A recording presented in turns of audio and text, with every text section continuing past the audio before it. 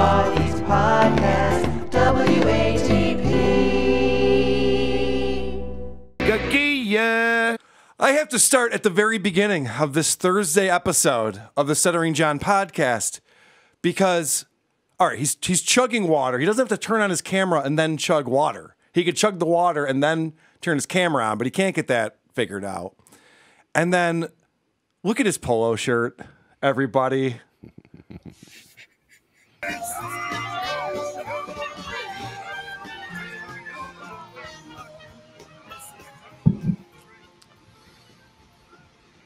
Yeah, baby!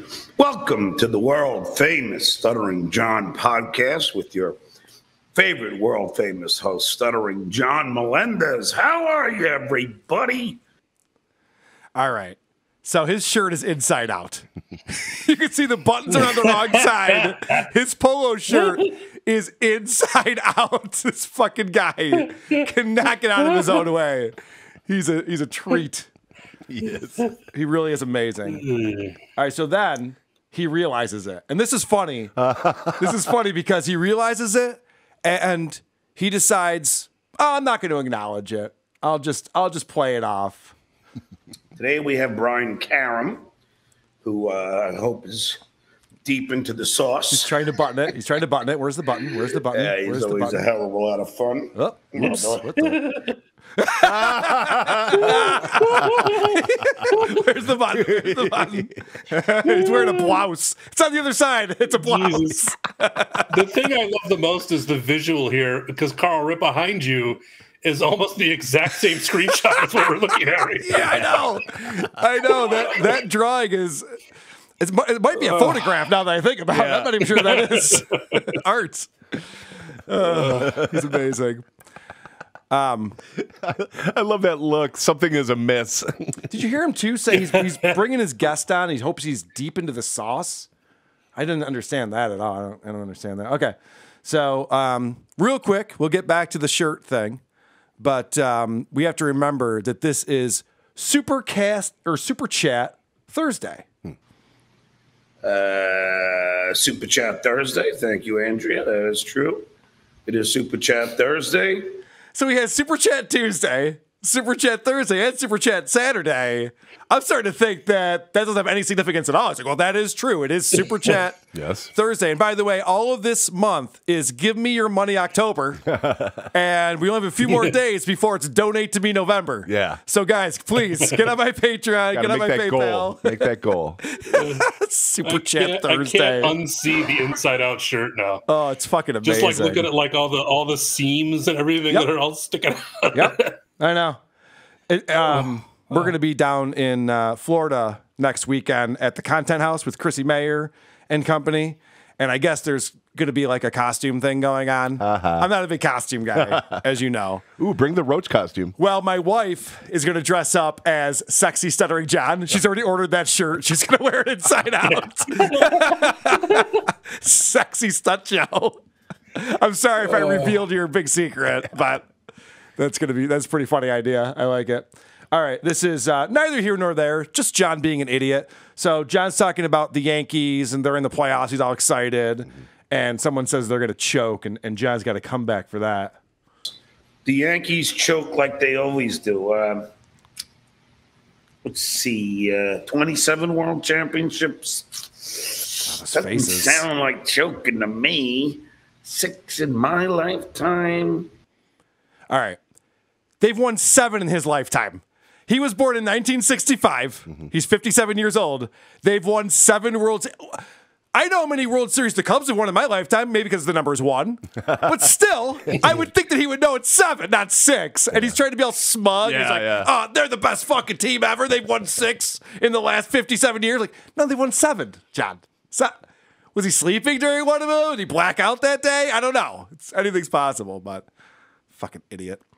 All right, so then Jules David, who is uh, Mike David Redbar's wife, but this is not the real Jules David.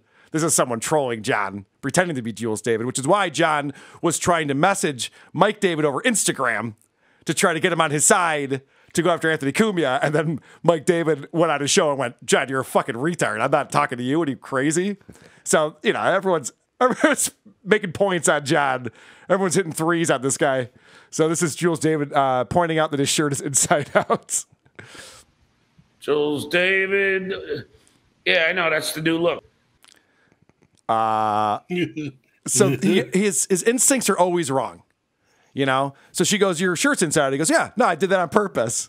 And- But no, but seriously though, he, wasn't like laughing it off. He's like, "Yeah, yeah, yeah, no, all all the kids are doing that. Everyone's peeing their pants. It's the coolest, you know." It's like, John, what the fuck is wrong with you? I had to turn it inside. I had cum on the front of it. So now this is great because John brings on his guest.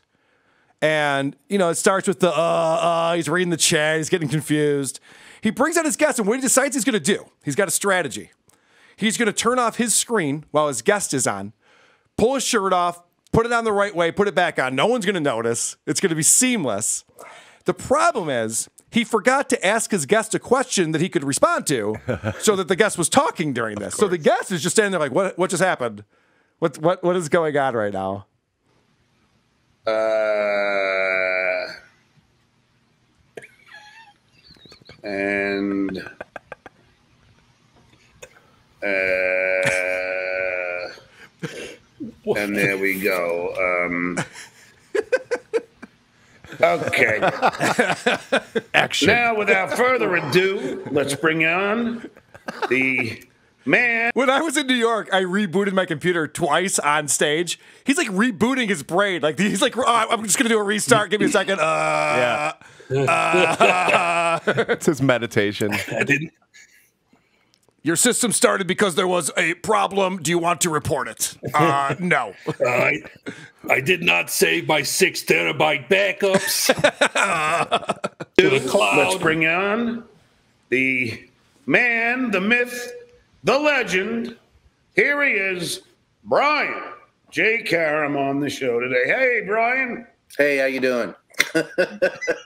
So John brings on Brian, immediately takes him off the screen because he hit the wrong button. So now it's just John. So then he, then he brings him back, What's going on, bro? Nothing much. How you doing? and now John is gone. Yep. What's going on, bro? And then he leaves. And now watch as Brian tries to figure out what to do here. He's just like, uh, all right, the guy hosting the You show there? is gone. Should I have not called him bro? yeah, why did I offend him? Was it the, my green hat? Is that what offended him? John's like, oh my god, a real leprechaun!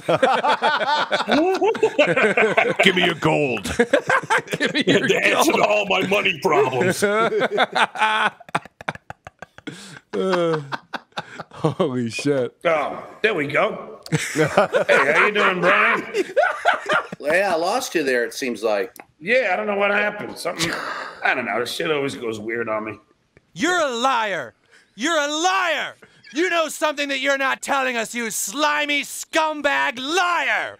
John tries to play it off like, oh yeah, technical problems. You know what happens. Meanwhile, he comes back. His shirt is now the right way, but it's all disheveled. It's all over Yeah. the place. He must. I would have loved to have seen. it. It's like, oh shit.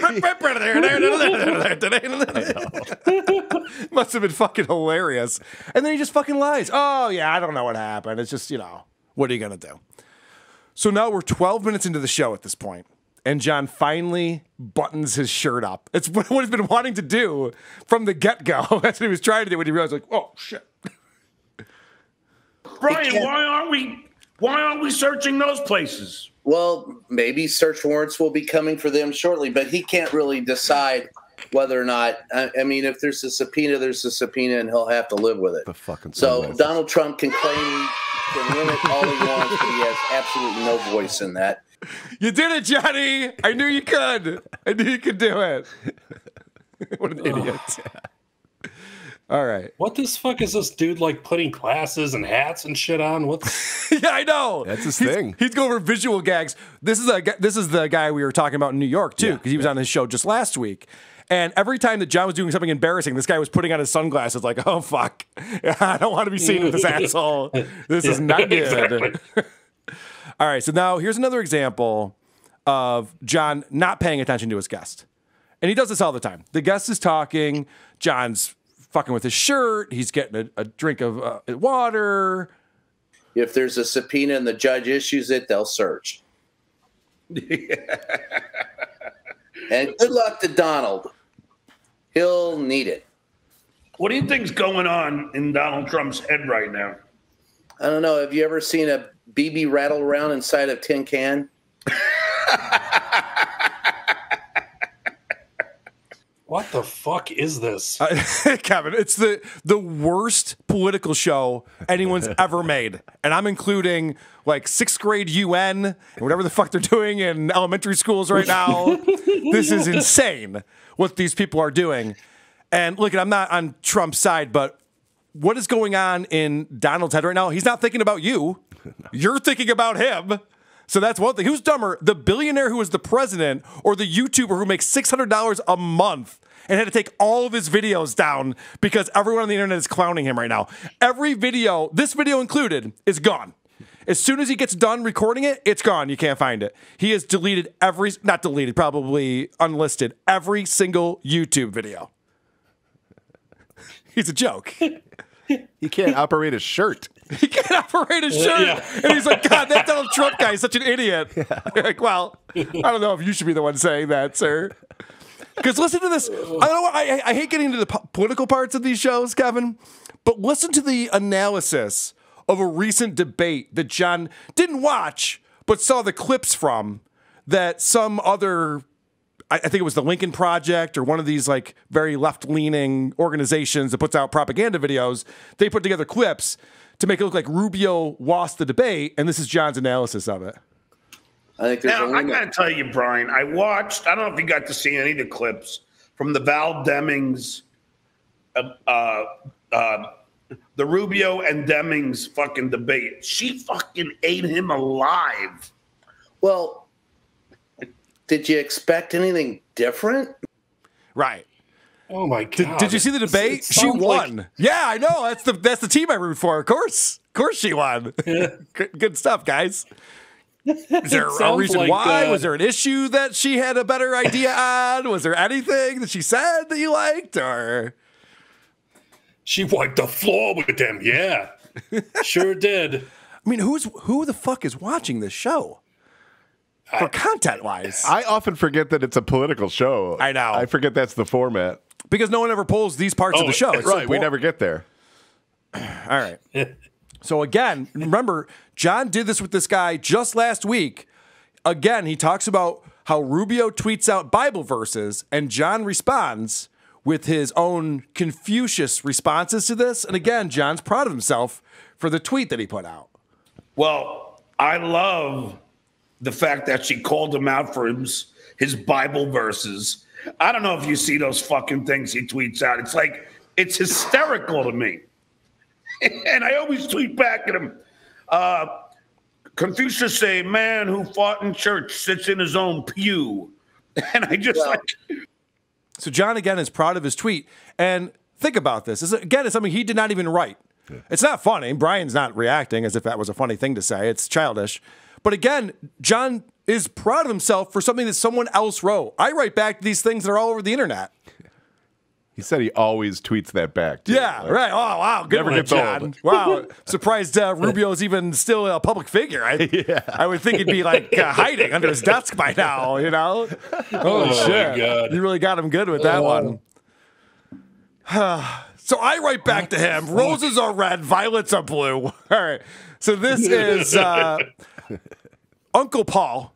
You know who Uncle Paul is, Kevin he gets sure do. involved. He gets involved in the chat here because John has not done a beer on the balcony in a couple of weeks now. This is what we pay for.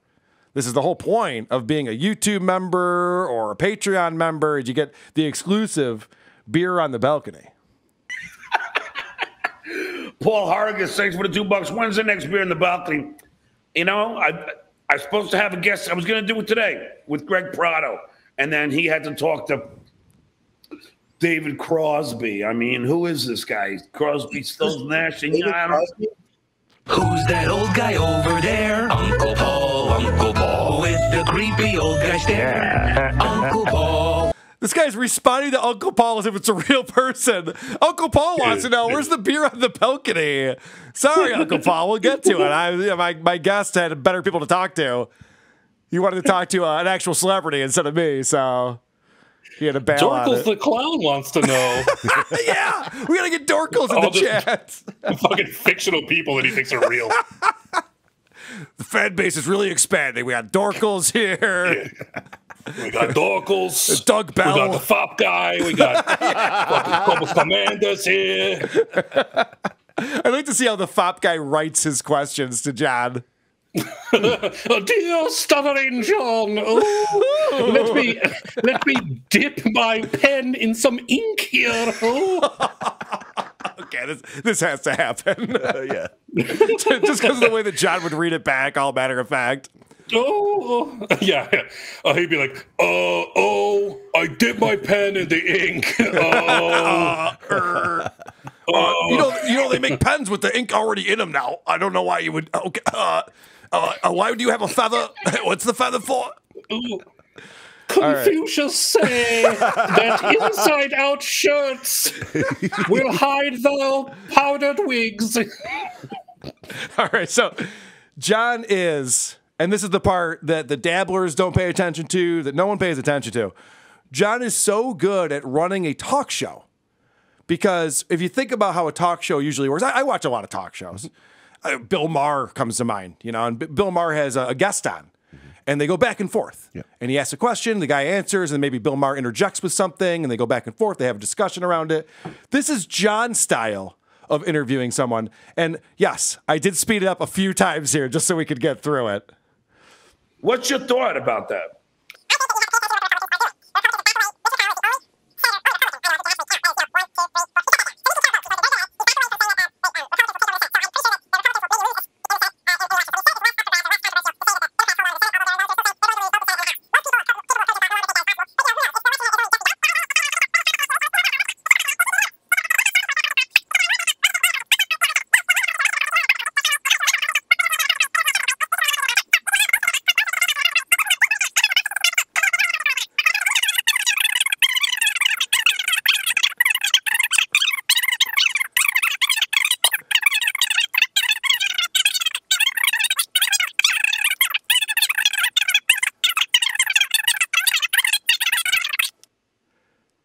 You see, John, that's when you could have changed your shirt. yeah. What's your thoughts on that? And then change He your could have gone shirt. shopping. he comes back, he's got a 12 pack of Coors, and sets it down. Oh, Brian, you're still here. Uh, uh, and the sad thing is, is that John's getting all the super chats. Yeah. He provides none of the actual content, if you can call any of this content. Right. Provides none of it. Just lets his guests ramble on and on and on. Because John doesn't have a thought in his head. Anyone who was like a real talk show host would have interjected with something as this guy's going on and on. The, the question was about whether you think the Dems will lose the House and the Senate in the midterm elections. And this guy's going on and on and on. And if John was following politics like he should be, that's his job now. It's not a good paying job, don't get me wrong, but he would have something to say in, in this at some point, and he doesn't. He sucks. I don't say this often enough. John sucks at his job.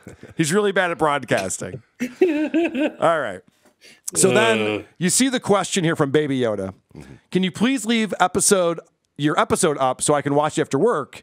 It's hard to watch live because of work, and I missed Tuesday's show because it was gone. Because like I said, John does the show live on YouTube and then he unlists it and you can't get to it anymore. Even if you're a Patreon subscriber, we, we showed that on the last show where a Patreon subscriber was going through their Patreon feed and all the videos were gone. You still have all these posts, but you can't watch the video. So it's kind of a ripoff. And uh, so John addresses this. No, and that's like, well, I'm going to ask you about a few of these races. Baby Yoda, thanks for the five bucks. John, can you please leave episode up so I can watch after work? It's too hard to watch live because of work, and I missed Tuesday show because it was gone. Something's going on. Something's going on with my YouTube. I don't know what's going on, but I don't know about Okay. you, but I have so many problems when it comes to YouTube. It's just like, just you know, I gotta, you know, I gotta figure out a different way. You're a liar. You're a liar. You know something that you're not telling us, you slimy scumbag liar. John's lying.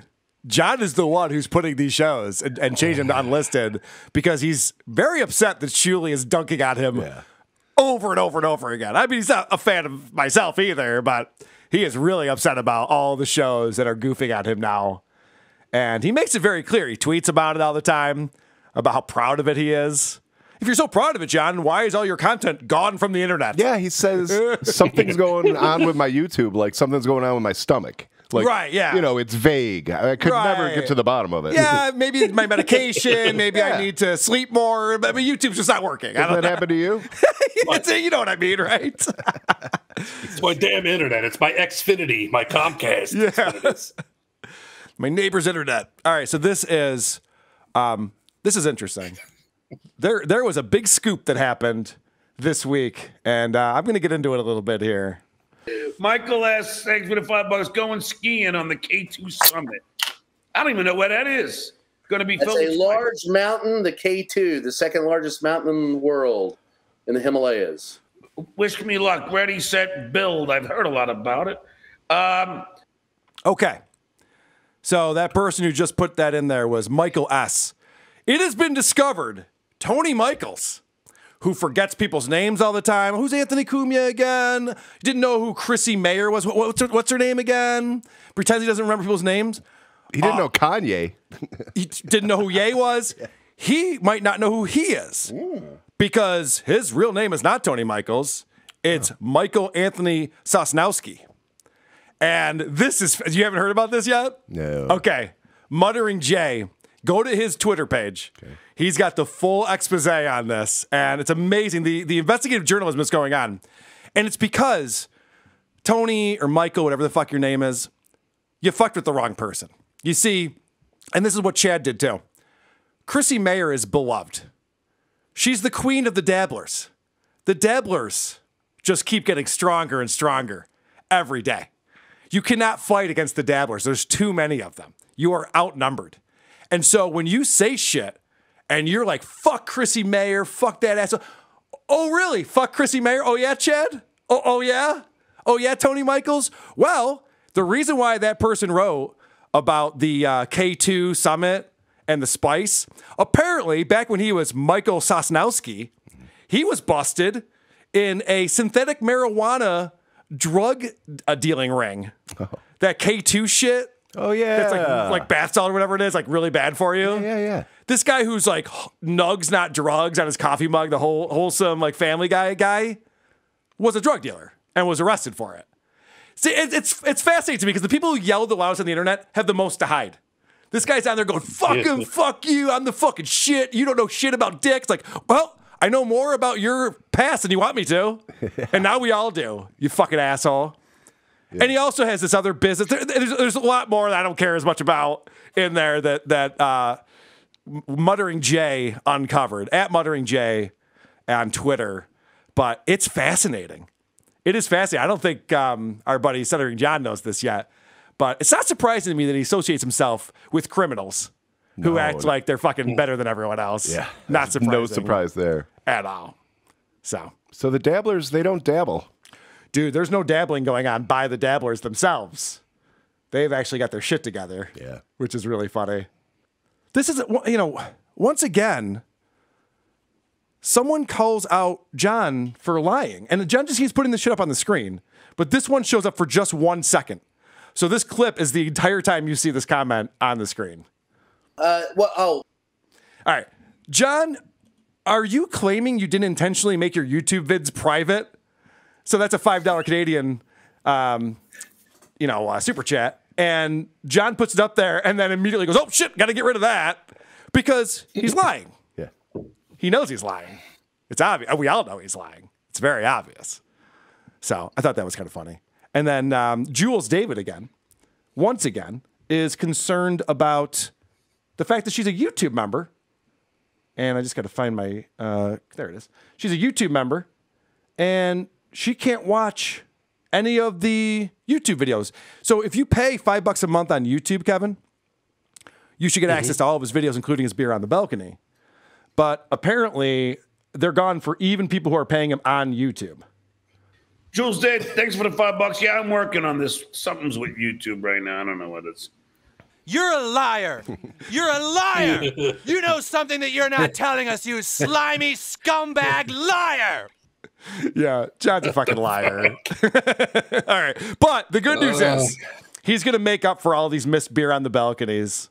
But I will. I'll make it up to all my Patreon people. I'll do two if I have to do two in one day, I'll be half in a bag by the second show, but it might be fun. Yes, I agree. It might be fun. Please do two beer on the balconies in one day. I'll be your guest. I don't give a shit. I'll kill an hour. That'd be fun. Let's do that. So looking Oh, forward to that. God. What a fucking train wreck. Kevin, Oh. it's o- it's been off the rails for a while, but it's still going somehow. It's like, what is even propelling this thing anymore? Yeah. How is this thing being propelled? Lies. Good thing when it crashed, it was going downhill because it's just going and going and going. it's fucking amazing. and uh, oh my god, someone made a, a Chicky McSpice Pringles uh, container. Oh fuck, Tony Michaels. What an idiot. All right, this is the last clip I have from John's uh, recent episode on Thursday. And he, he ends the show by telling you you have to get out there and vote. And Kevin, you know how important voting is, obviously. But I sure do. this election, it's more important than ever. Get out and vote. As Brian said, we have to go out and vote because everything depends on this. We this is the most important election of our lifetime. What? the most important election of our lifetime? Is that even possibly true? What's he talking about? The midterms of Joe Biden's presidency are the most important elections of our lifetime? I, guys, I might sleep at that this Tuesday. Is, I don't know. Yeah. My calendar's full. I don't know. I don't find this it to is more, even more important, even more important of a vote than pick the new Mountain Dew flavor. podcast.